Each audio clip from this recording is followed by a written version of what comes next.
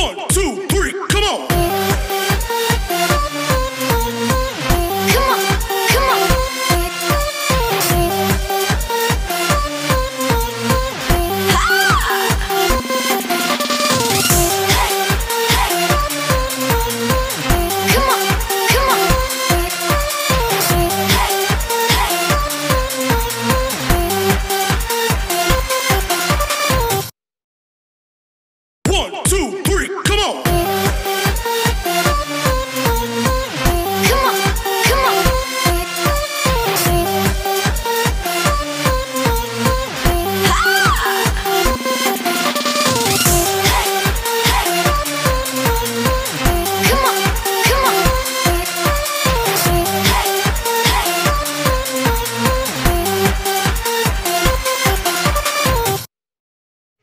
Hello mga kol, welcome back sa ating channel, Surplus TV.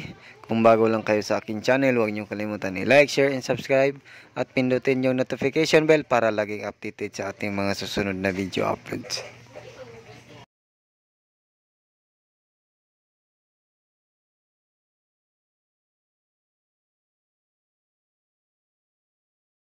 So, pakita natin ngayon mga kol yung uh, transformer pickup or D63T Suzuki Kiri 4x4 automatic transmission K6E engine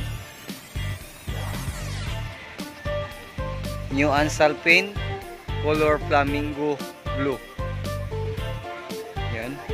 So with mugs original Japan size uh, 12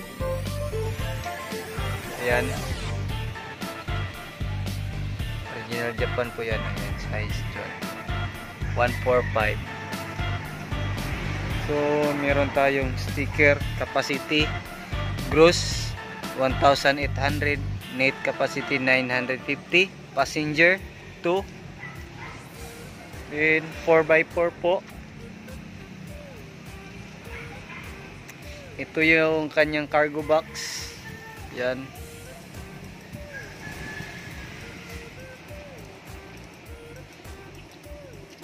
medyo malaki siya kunti uh, compare to Scrum model or yung mga DB51T medyo malaki siya kunti kasi papasok yung uh, bed ng Scrum dito. So merong lagard original Japan original ng unit. So yan dito yung spring nya lip spring tatlo. Original pa rin. So brand new battery NS40 7 plates. Yan yung chassis naka undercoat na rin. So meron siyang rain visor. Side mirror Tingnan natin dito sa loob. Door pads. Kinulayan. Ito yung dashboard natin. Original Japan. Converted to left hand drive. So, itong unit natin mga call, ito ay uh, right hand drive. Galing dyan, nilipat natin dito sa kabila. Gamit yung secondary gearbox. So, sa original na steering uh, rack niya, wala pong naiba or nagalaw. Nilipat lang natin yung uh, manibela gamit yung secondary gearbox from Kia Bungo. So gumamit tayo ng dalawang secondary gearbox. Then ito yung ating seat cover.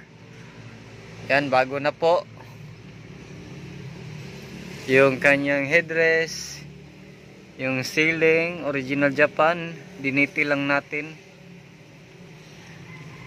So dito merong handbrake.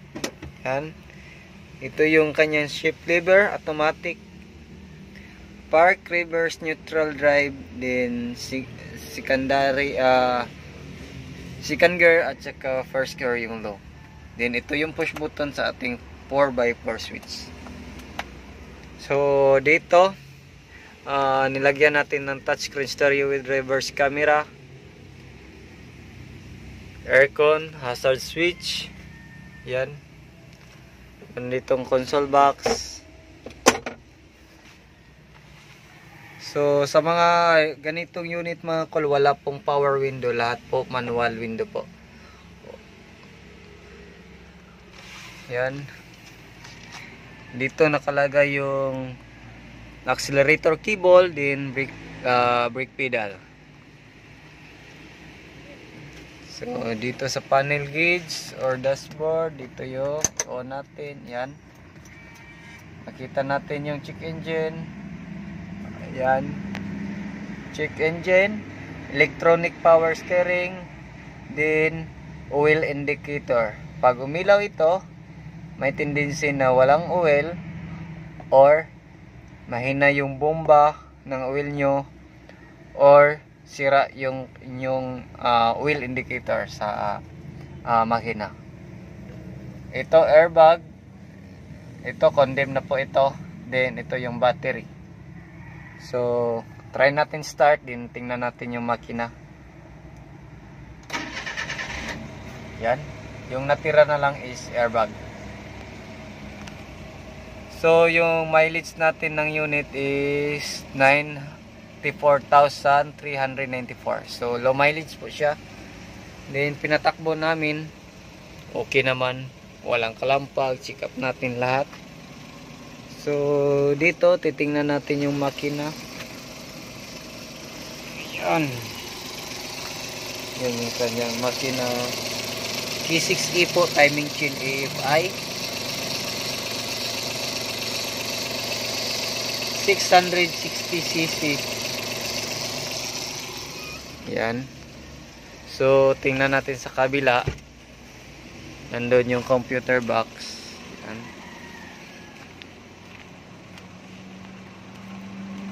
So, medyo blurred na yung kanyang headlight. Pero okay pa rin. So, dito check natin. Yan. Mm.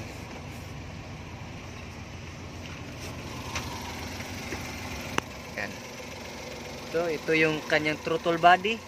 Ang tawag sa iba nito is ah, servo. Ito po yung throttle body. Then, dito nakalagay yung ah, TPS, throttle position sensor, map sensor, then yung kanyang ah, ayat sensor, IECB valve, doon sa ibaba ito yung throttle niya. Accelerator cable. Dipstick ng oil. Then yung sa transmission. Dito nakalagay yung ating na computer box. O ECU electronic control unit. Then ito yung ating air cleaner. Ito yung aircon compressor din yung ating alternator. So yan lang siguro yung presyo nito sa ngayon mga call. Medyo nagmahal talaga yung mga unit. Pasensya na kayo sa ganitong unit siguro. Aabot ng 210,000 finished product 200 to 210,000 po. Dahil sa sobrang mahal, pasensya na po kayo kung medyo nagmahal talaga yung unit.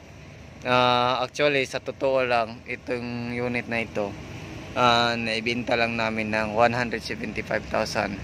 It's sad to say na during ah, modify ah, during MGCQ ah, medyo nagtaas lahat ng unit galing sa Japan. So, yun. ah, antay na lang tayo. Baka sa sunod ah, sa susunod na buwan ah, bababa yung presyo. Sana nga bababa. Wala kaming magawa kasi kung i-stable namin yung presyo, malulugi rin kami. So, yan. Yan ang siguro mga kol.